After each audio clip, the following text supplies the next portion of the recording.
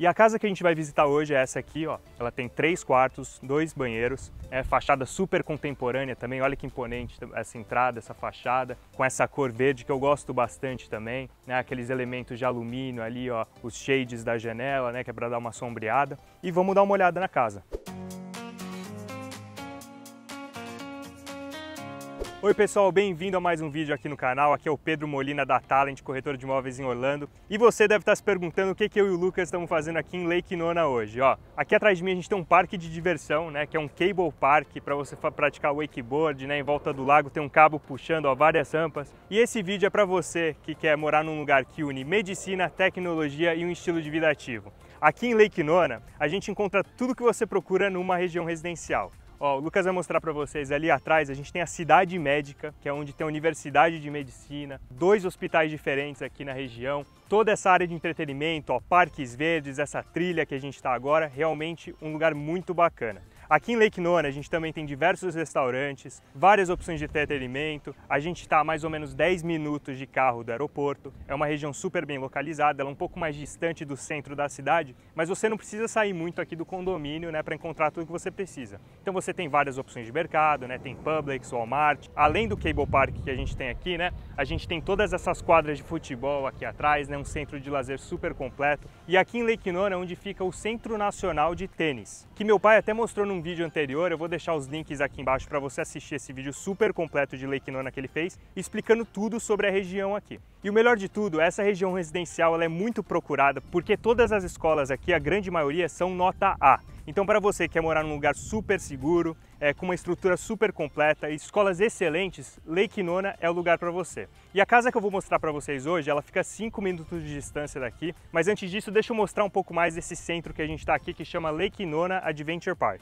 Então, pessoal, a gente está dentro aqui do centro de lazer do Nona Adventure Park. Aqui tem um cabo para iniciantes, para você aprender a ficar em pé no wakeboard, e a pista mais avançada com as rampas lá daquele lado. Ali ao lado, ó, a gente tem um aquapark, né, com essas boias infláveis para a criançada se divertir. Tem uma praia artificial ali ao lado, uma área de piquenique, né, para você curtir o final de semana, final de tarde com a família, quando seu filho pratica o esporte. Além do restaurante e bar que a gente tem ali, né, com uma loja. Ali atrás é o espaço de eventos, como eu falei, né, durante o ano existem alguns eventos, shows musicais, né, peças teatrais lá, com essa vista incrível aqui para o lago, mas olha essa estrutura que bacana que a gente tem esse zipline aqui ao lado tirolesa, parede de escaladas, então diversão é o que não falta aqui em Lake Nona. E se você está gostando do vídeo, deixa aí nos comentários o que vocês estão achando da região até então. E eu sei que vocês estão ansiosos para ver a casa que eu vou mostrar hoje. Eu e o Lucas a gente vai andando até ela, ela é bem pertinho daqui, dá 5 minutos. Então se você morar aqui nessa fase nova de Lake Nona, dá para você vir para cá com seus filhos, trazer todos os dias final de tarde, depois da escola, para eles se divertirem. Vamos lá, Lucas, andando na casa?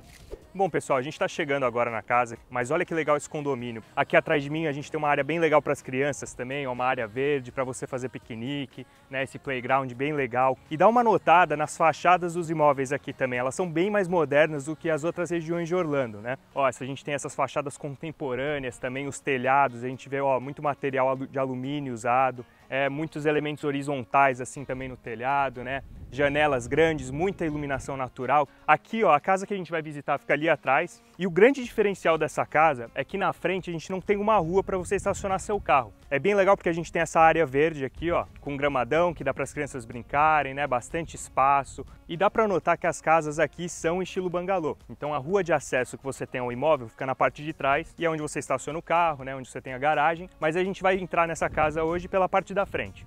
E a casa que a gente vai visitar hoje é essa aqui, ó. Ela tem três quartos, dois banheiros, é fachada super contemporânea também. Olha que imponente essa entrada, essa fachada, com essa cor verde que eu gosto bastante, né? Aqueles elementos de alumínio ali, ó, os shades da janela, né? Que é para dar uma sombreada. E vamos dar uma olhada na casa. E o que reflete ainda mais essa arquitetura moderna, né? A gente tem muito espaço nessa casa para curtir, para ficar sentado, né? Um fim de tarde, tal, tomar um café da manhã aqui fora. Então a gente tem essa varanda. E olha que legal a porta também. Aposto que você não vê muita porta lilás aqui no canal, mas eu gostei bastante esse contraste com o verde, eu achei que ficou legal.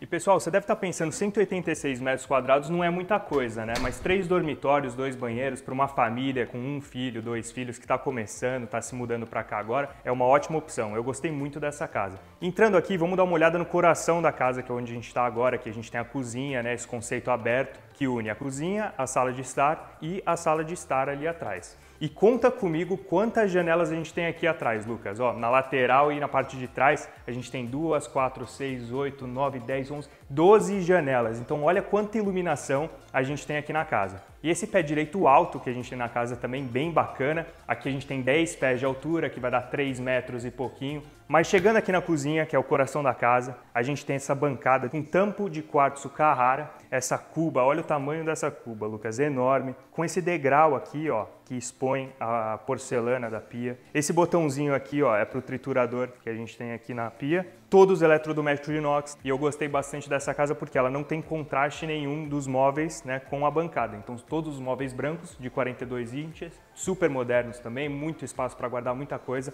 E sendo uma cozinha gourmet, aqui a gente tem uma coifa, o fogão de cinco bocas elétrico e olha que legal esse micro-ondas aqui. Essa eu nunca tinha visto antes. Para você abrir ele, ó, você só aperta o botão aqui, ele abre. Para fechar, a mesma coisa. Muito legal, né, gente? Aqui atrás de mim a gente tem uma geladeira bem grande com 1,80m de altura, né? porta dupla, estilo French door, a gente tem a gaveta aqui, ó, que é onde fica o freezer, muito espaço para guardar muita coisa. E aqui, ó, a gente tem o espaço da dispensa. Tem muito espaço para storage, pode guardar bastante coisa aqui. Realmente sobra espaço aqui nessa cozinha para uma família pequena. Backsplash também, ó, com esse estilo, né, esse revestimento todo na cozinha estilo mosaico, com várias tomadas. As construções novas estão atendendo super bem né, as demandas dos compradores das gerações novas, que é muito legal. Todo o piso da casa é de madeira, então essa casa não tem carpete em nenhum cômodo. E não é vinil, gente, é madeira aqui também, muito bonito, ó, é, é um tom mais claro, com branco, acho que fica muito elegante, muito legal. E agora que a gente já deu uma olhada aqui nos cômodos principais da casa, no coração da casa, como meu pai fala, vamos dar uma olhada na suíte master que fica aqui ao lado.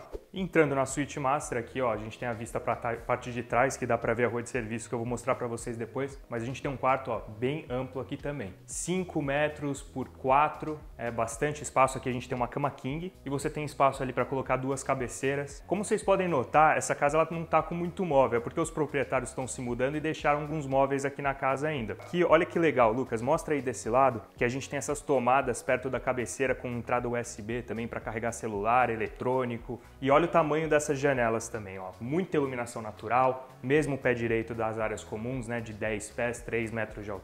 E aqui, ó, mesmo colocando um móvel aqui na frente, você ainda vai ter um espaço de 2 metros, né? Então é um quarto bem amplo assim. Indo ao banheiro, ó, eu queria mostrar para vocês essas portas, estilo Barney Door, né, que são é, portas de celeiro que a gente chama aqui é muito legal estar tá sendo usado nas casas mais modernas também. E entrando no banheiro da Suite Master, aqui a gente tem um linen closet, que é um, um closet para você guardar toalha, roupa de cama, né? Aqui a gente tem um espaço do toalete, né? Mesmo esquema de quase todas as casas americanas, né? Fechado, um espaço mais privativo. A gente tem um closet para cada membro do casal. Então aqui a gente tem um closet e outro que eu vou mostrar ali para vocês depois. Mas olha também, ó, uma bancada enorme aqui com pias duplas, né? muito espaço aqui para se maquiar, né? bem iluminado também. Mesmo esquema de gabinetes da cozinha, brancos, e com esse piso de porcelanato escuro, né, que dá um contraste muito legal aqui no banheiro, né? Mas olha o tamanho desse shower aqui. Aqui a gente tem, gente, 6 metros de profundidade por 1,20 de largura,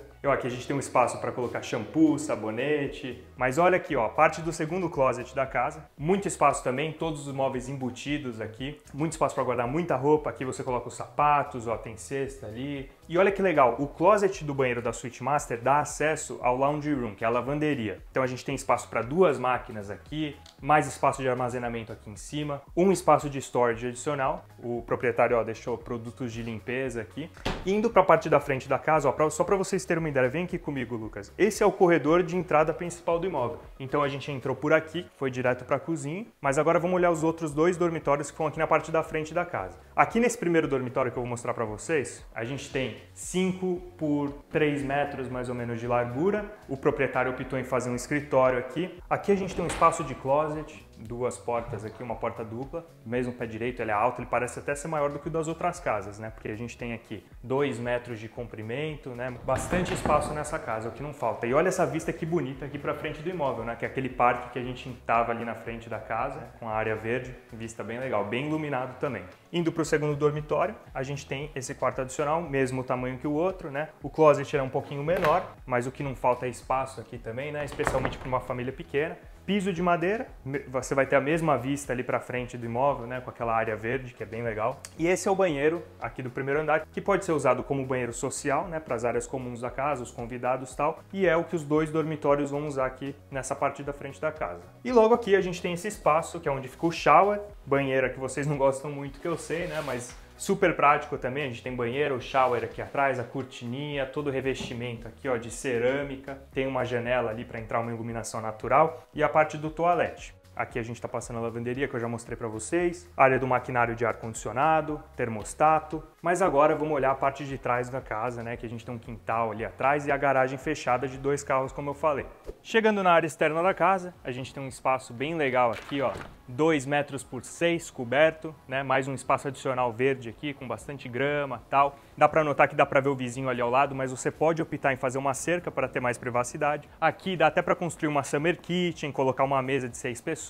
Ali ao lado, se você quiser, dá para fazer um spa, hidromassagem. E chegando na garagem, a gente tem uma garagem fechada para dois carros. O proprietário até deixou o carro dele aqui, mas na lateral a gente tem um bom espaço para armazenamentos. E para mostrar para vocês aqui atrás a rua de serviço, como eu falei, né, sendo um bangalô, a gente tem acesso a parte de trás do imóvel. Então aqui é onde você vai deixar o latão de lixo de manhã, o caminhão de lixo vai passar, né? Mas como está muito calor aqui fora, vamos entrar lá que eu vou falar o preço do imóvel para vocês, o valor do condomínio e tudo mais que você precisa saber. Bom, gente, vocês devem estar se perguntando quanto custa o condomínio aqui, né? Sendo super completo, ele vai te custar 570 dólares por mês, mas vai estar incluso a TV a cabo, internet, é, manutenção das piscinas, se o seu imóvel tiver, e o acesso a todas as áreas comuns do condomínio, playground que eu mostrei para você antes de entrar na casa, né? As quadras de futebol, de tênis, de vôlei, super completo, tudo incluso no condomínio. Lembrando que as escolas da região aqui são nota A, então é uma região residencial muito procurada aqui em Orlando, né? Super privilegiada, perto de tudo, como eu falei, você está a 10 minutos do aeroporto. E esse imóvel que eu mostrei para vocês hoje, ele está ativo no mercado, ele está listado por 679 mil.